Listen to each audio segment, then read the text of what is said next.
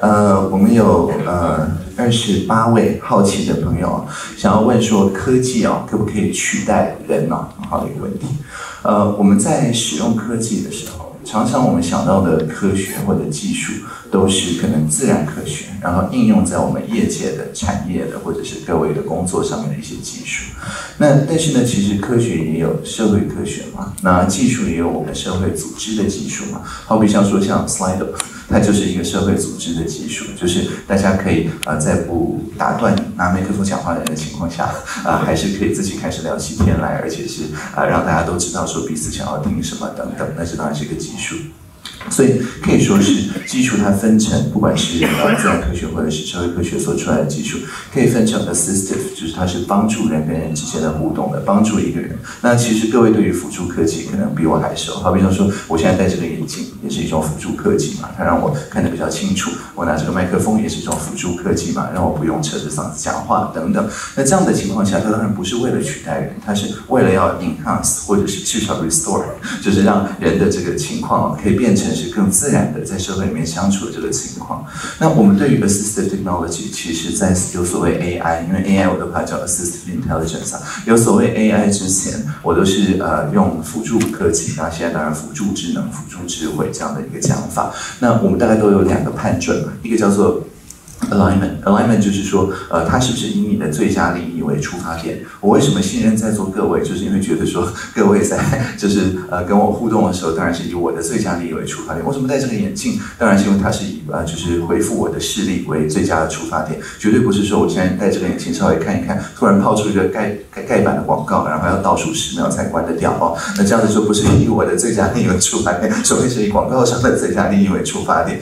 那另外一个就是 accountability，就是能够给出交代。那当然给出交代。呃，现在在健保快易通上面，就是各位的诊断 等等，大概很多都已经可以看到那个代码了哦，所以也是一种给出交代的方法。像好像已经有五百万人啊，可以在手机上面看自己的健康存证。那但是呢，呃，像这个眼镜，其实它如果坏掉了，或者是我早戴起来发现有点模糊等等，我也可以带去旁边的那个就是眼镜行修嘛。那他也不用先付给做这个眼镜的人大概呃十万块的那个授权费，他才能够开始修这副眼镜。所以他给出交代的方式就是靠大家都可以用参与式的方法。就算我自己，我只要稍微学一点关于眼镜的光学的等等的原理，说不定一些小问题我也可以自己修啊。这样，那所以这个时候呢，它的就是禁用性 accessibility 就是特别好的。那这个时候它就是 accountable 的一个科技。那所以我讲了这么多，只是要讲说，并不是没有一些人正在发明一些或应用一些别的科技。那我们还是要做可能 authoritarian technology。那用它来做的 AI 就是叫 authoritarian intelligence，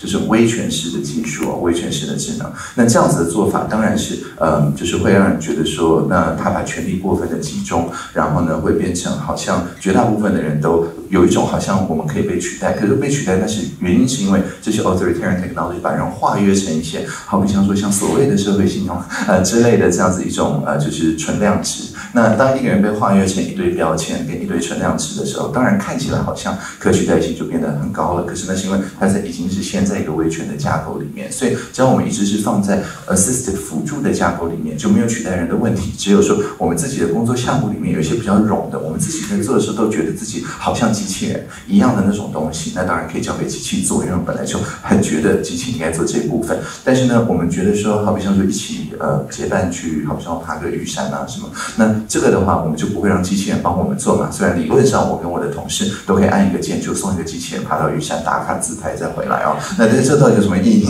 完全没有意义的。